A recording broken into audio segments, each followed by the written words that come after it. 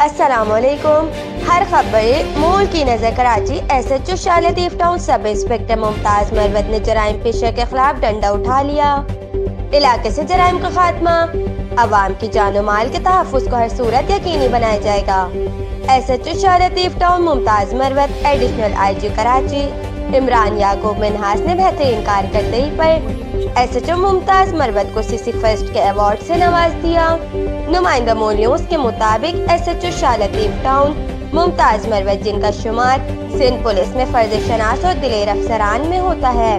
کراچی کے مختلف تھانوں میں تعیناتی کے دوران ایس ایچ او ممتاز مروت نے جرائم پیشہ کے خلاف کاروائیوں کے دوران بڑے پیمانے پر ملزمان کو گرفتار کر کے اسلحہ و منشیات و مسروقہ سامان برآمد کر کے مقدمات درج کے ملزمان کو جیلوں کا رخ کروا دیا۔